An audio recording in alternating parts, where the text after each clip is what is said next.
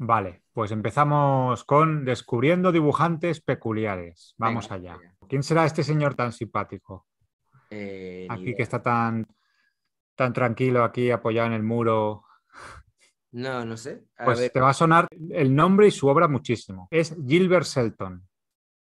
Ah, eh, a ver, si no la cago ahora. eh, Freak Brothers. Total, total. Vale, perfecto. Me imaginaba que lo conocerías, pero Sí, muchas veces sí, es sí. lo, lo típico que la cara no. El gato, el gato Freddy era. Sí. Hostia, es que hacía mucho que no los leo, Sí, ¿eh? sí, lo vamos a ver todo eso ahora. Qué bien, tío. Hostia, Vale. me gusta, me gusta. Un buen, buen, buena lección. A mí es un autor que me fascina. Gilbert Shelton es un autor estadounidense tejano, nada menos, nacido en los años 40, 1940, si no recuerdo mal. Y bueno, fue un hombre que sobre todo se dedicó al cómic.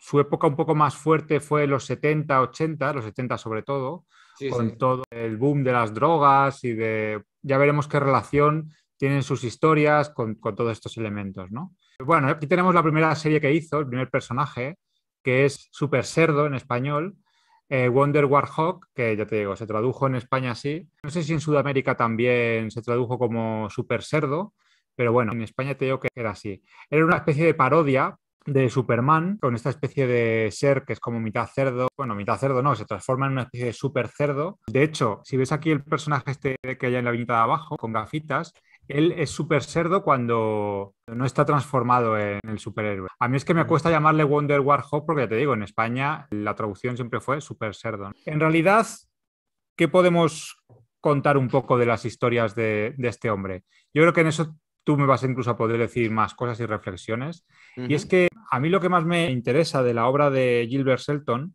es que creo que fue una especie de cronista de su tiempo desde un punto de vista muy humorístico, pero al final todas sus historias versan un poco sobre la problemática, un poco del ciudadano medio en los años 70, sus problemáticas para llegar a fin de mes, su relación con la policía, las drogas, un poco, ¿sabes? Esa cosa es muy de la escuela y muy de la línea de Cramp, que lo vimos Sí. en, en vídeos anteriores, ¿te acuerdas? Y sigue un poco, incluso el tipo de dibujo, si te fijas bien, Sí, tiene sí, bastante el- el- esas tramitas, ¿verdad? Sí, sí, sí, lo veo. Recuerda mucho. trama que ha hecho y tal. pues las temáticas, todo también debía ser, pues eso, una preocupación importante en los 70 de la relación de los chavales con las drogas y todas este- estas historias, ¿no? Entonces, todas las historias de Gilbert Shelton van un poquito por ahí, ¿vale? Mucha parodia, mucha... ¿Mm? Bueno, esta es la serie con la que yo creo se hizo más conocido, que tú la mencionabas antes, los Freak Brothers, esa especie de como tres pringaos, ¿no? Que se dedican, pues eso, a drogarse, a sobrevivir, a trapichear y a, bueno, y a meterse en líos, ¿no? Y en problemas. Ya digo, pues esa estética muy, muy setentera, ¿no? De incluso, pues eso, de, de- de lo que hablábamos antes de la escuela de Cramp. Y tengo que decir que en realidad, aunque Gilbert Shelton es un autor muy reconocido, no tuvo gran recepción ni siquiera en su época cuando sacaba sus cómics, porque las distribuidoras no estaban muy por la labor. Claro, tú piensas que eran temas que hoy son políticamente incorrectos, pero es que antes también. Cuando te burlas un poco de las drogas y les quitas hierro un poco a problemática que para mucha gente suponen las drogas y, y tienes a tres personajes que son en realidad tres antihéroes que les gusta pues eso, fumar porros y tal, pues hombre, es un tipo de contenido que muchas distribuidoras no les gustaba o no les interesaba mover. Entonces, eh, bueno, es un autor muy de culto porque aunque tuvo una carrera muy dilatada, su obra era un poco, rozaba un poco lo, lo prohibido y lo, ¿sabes? Entonces siempre se movía en esos límites, ¿no? Este, este, este lo tengo. Cuando dan la vuelta al mundo y cada uno se va a un lugar, el Fa Freddy se va a Barcelona, habla de los anarquistas y aquí se piensa que se ha... Mira aquí, justo. Mira, que se piensa que se ha, se ha metido ahí un tripi de LSD y tal. Sí, claro, sí. claro. Los cómics de Shelton son una enciclopedia de, de las drogas, Mm. de todas las drogas que había en ese momento. A mí ya digo, me parece que es muy interesante si quieres conocer una época o un momento vital de, de, bueno, pues de una generación de gente que vivió en esas, en esas realidades, de, pues, pues con, pues con el rock and roll, las drogas, el sexo, tal. Creo que acercarse a este tipo de cómics y de contenidos son como documentos históricos. Mm. Esta viñeta, por ejemplo, me parece genial. Ve la obra de Gaudí y se cree que se ha tomado el LSD y está alucinando, ¿no? Entonces, todas las historias van un poco así y la verdad que son divertidísimas. además de estar muy bien dibujadas. ¿eh? Hay que decirlo. Viniendo de la escuela CRAM, vamos a llamarla así, aunque son contemporáneos, ¿eh? no, es muy correcto decir eso. Bueno, pues tenemos esa, especie de trabajo de tramas y de, y de dibujo como bien hecho, como muy artesano, que hombre, pues también llama la atención. O sea, que aparte de que las historias sean un poquito, vamos a decir, humorísticas, sin tampoco, no, era la intención de, de, Gilbert Shelton, ni creo que lo haya sido nunca, el contar historias profundas, historias de... No, es, era más divertirse, crear caos. Entonces, dentro de eso, creo que, bueno, que, además tenemos un lenguaje gráfico muy potente, ¿no? Hmm. Pues sí. Ya digo, es el retrato social de una generación, con las mm. preocupaciones típicas de esa generación, la guerra, el paro. En ese sentido, son cómics que aunque humorísticos, tienen mucho compromiso también detrás. Bueno, el cómic tiene esa cosa de conectar con la gente, porque al final son historias hechas por perdedores para perdedores, son mm. historias de abajo para los de abajo. Entonces, bueno, pues si tú te acercas a la obra de Gilbert Seto, lo que te vas a encontrar sobre todo es eso, ¿no? Historias de supervivientes, de gente que está muy en el extremo de todo. Sí, bueno, eh, eh, yo la, imagen que tengo de, los Free Brothers es como de, tres compañeros de piso que realmente están muy desfasados. Claro. O sea, pero, pero muy desfasados. Bueno, gente sin expectativas más que la de, bueno, pues eh, drogarse, subsistir y, pues eso, hacer trapicheos y chanchullear. Bueno, pues... Pero, o sea, lo recomiendo muchísimo, ¿eh? O sea, cualquier persona que no conozca a los Free Brothers. Y, porque claro, no puedo, no puedo hablar en realidad, ¿qué, ¿qué, más obras hay así de, de, Shelton que sean conocidas? No hay muchas, en realidad, a ver, fue un tipo, bueno, fue, lo, fue, lo digo en pasado, no, es un tipo muy prolífico Digo fue porque en realidad a partir de los 90 ya, en cuanto al cómic, ya decayó bastante su producción. Ha estado involucrado en series de animación. Eh, bueno, pues tenía esta serie de los Freak Brothers, la de Super Cerdo, y la que vamos a ver ahora, que es la del gato. Sacó muchas páginas en aquellos años. Había muchas revistas de cómic y entonces se consumía mucho. Eh, bueno, por ahí el tipo produjo bastante. Si me preguntas cuántas series tuvo, bueno, que yo sepa, las más así potentes eran estas. Con los Freak Brothers creo que fue como la que más, pero también piénsalo, cuando un autor encuentra un personaje o una serie que, le funciona muy bien, también hablamos de una época en donde el tema de las series con personaje fijo era más habitual. Ahora eso lo podemos encontrar otra vez en otros géneros, ¿no? Más tipo a lo mejor superhéroes o en otro tipo de género, pero una serie humorística con además este tono tan adulto con estos temas tan controvertidos, yo creo que ya es difícil. Pero bueno, yo creo que Freak Brothers fue la que más le catapultó, a la fama, por así decir, y la que más... Me, llama, estoy, mientras estás hablando, he echado un vistazo a la Wikipedia y hay una cosa que me ha llamado la atención de Shelton y que coincide también con, con Robert Crumb, y es que los dos han acabado mudándose a Francia. Qué curioso, ¿no? Sí. ¿Cómo se nota que en Francia es donde hay otro dato, hay otro dato muy curioso, Ray, y es que tanto Cram como Shelton en su momento buscaron trabajo, te acordarás del vídeo que hicimos de Cram, sí, buscaron trabajo haciendo postales, que dices tú, caramba, tantas postales de felicitación se enviaban, en el... pues, pues sí, es curioso que coincidan en esos trabajos, ¿no? A ver, tienen unos estilos muy afines, con, con enormes diferencias, pero bueno, Mm, al final vienen de donde vienen, ¿no? Entonces... También, también me llama la atención que los dos sean músicos, ¿sabes? Que también, o sabes, y, luego otro detalle también que me llama la atención, cuando tú buscas Gilbert Shelton, mm. eh, aquí lo define como escritor estadounidense. O sea, Houston, Texas, 31 de mayo de 1940, es un escritor estadounidense. Bueno, piensa que hay siempre una cosa cuando él es autor de cómic, pero como el autor de cómic escribe también los guiones, a ver, no, necesariamente, puede ser solo dibujante. De hecho, en Estados Unidos es más habitual lo del trabajo en equipo, lo de separar guionista de dibujante, tal. Cuando tienes un autor completo, que es escritor, dibujante, tal, tal vez en este caso pesa más eh, destacar la parte de, de escritor, porque al final el autor de cómic es un poco de todo, ¿no?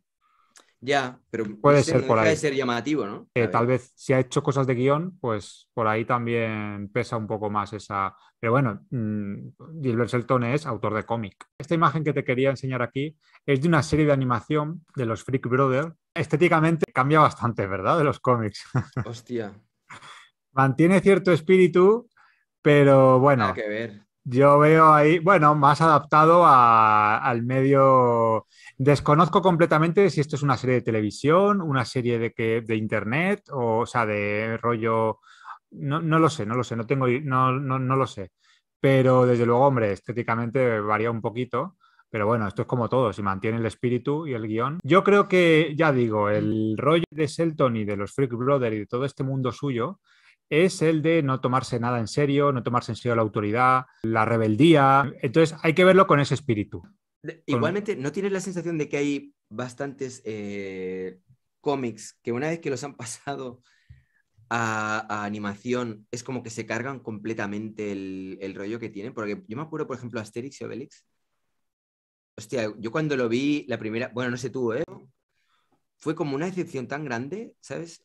Con Tintín un poco lo mismo, que no sé cómo le llamarán en, otro- en otros países, igual tiene otro nombre, ¿no? Tonton, Tintín. Si te refieres a la serie de Tintín y Asterix, en honor a la verdad, echando un poco de memoria, te reconozco que son bastante fieles al estilo del cómic.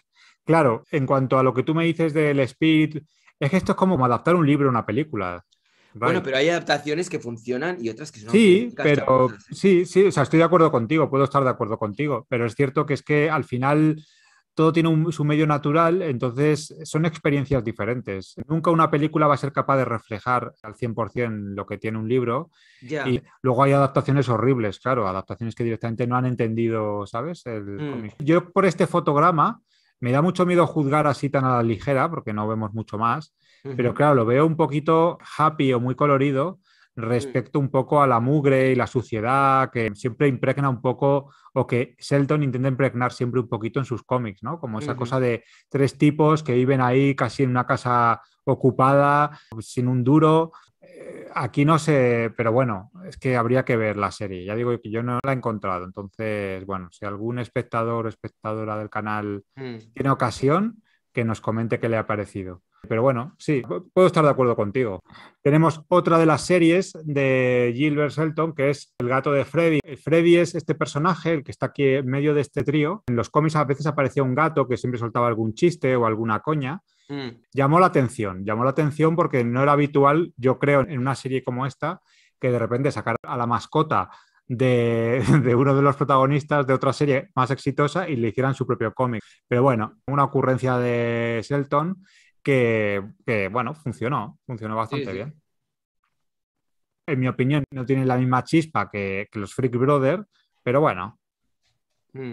tiene su... Vale, pues, ¿qué te ha parecido, Ray? ¿Alguna, ¿Algo que comentar sobre este, sobre este gran Pues autor? eh, Gilbert Shelton es que mm, a mí es de, es de los que tengo aquí, o sea, en la, en la biblioteca. Mm, Eh, Yo, de hecho, mira, te quería enseñar. Yo tengo este ejemplar.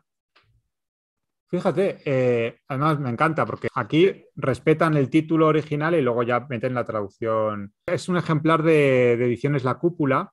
Ya digo que la obra de Shelton es como hablamos cuando te acuerdas que hablábamos de Jim Goodrin, sí. que es un autor como raro, que a pesar de que se le conoce mucho en el sector sobre todo, entiéndeme, no, cuando digo mucho no me refiero a que se conozca a nivel popular porque no es el caso, en lo que es el sector es muy conocido y muy valorado. Eh, Silver Shelton ya ni te cuento.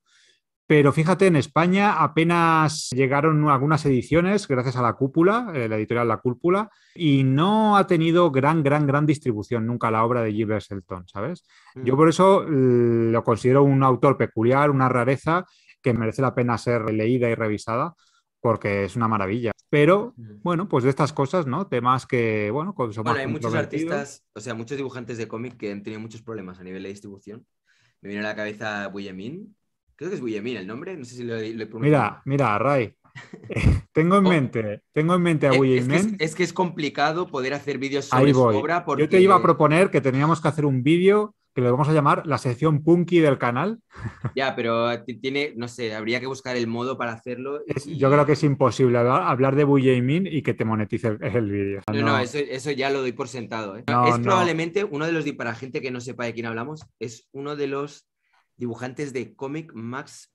eh, bueno, no, yo yo para mí es el más. Para mí el más también. O sea, de todos los que bestia. conozco, es el más bestia, el más políticamente incorrecto, aborda todo tipo de temas sin ningún tipo de Mm. filtro. O sea, filtro cero. O sea, Yo creo que su obra es más bien de los 80, 90 quizá, ¿no? Más o menos, así. Y actual. Pero, pero, tú crees que... Es que, claro, yo hace mucho que le, que le he perdido la pista, pero yo no sé si hoy día con todo... Los 80 sobre todo, es eh, finales de los 70 por ahí creo. Pero tú crees que hoy día, con todo este sesgo que hay a la hora de, cuidar un poco, de ser políticamente correcto, de no tratar de no ofender a nadie, tal, yo no sé si tendría mucho recorrido. bueno, sus libros se siguen vendiendo, pero es cierto que tuvo bastantes problemas en su momento es que al final esto es como todo. da igual si ahora parece o, da la sensación de que somos más políticamente correctos o incorrectos. Siempre va a haber gente muy transgresora. El caso de Selton que hemos hablado fuera de un autor muy transgresor. Cramp lo fue muchísimo también y tuvo sus problemas que ahora parece que es que solo ahora de repente se cancela autores. No, no, no. Son gente que, siempre ha arrastrado muchos problemas. El caso de William ya ni te cuento. En realidad, no podemos juzgar, por ejemplo, a un autor como Gilbert Seto, que, cuando publicó la serie de los Freak Brothers hablamos de los 70, donde el tema central para la gente o, la generación de aquel tiempo era lo que hablamos, las drogas, el no sé qué, la música, el, Claro, él solo se limitaba a hablar de aquello que le preocupaba, pues eso, como un chaval joven que, dibujaba y tal. Entonces, al final, los autores yo creo que escriben o dibujan sobre aquello que les preocupa en su tiempo. Pero bueno, eh, no sé, a veces yo, fíjate, creo que muchas veces los autores, o en este caso, yo no sé si, si en el caso de Shelton, pero tal vez tú dibujas aquello que te preocupa sin tampoco por delante el decir, voy a escandalizar a todo el mundo. No, simplemente haces sobre una temática que te preocupa y ya está, y te dejas llevar, tío. ¿Sabes? Que no mm. tiene que ver con, no sé, con el querer escandalizar por escandalizar, tal vez.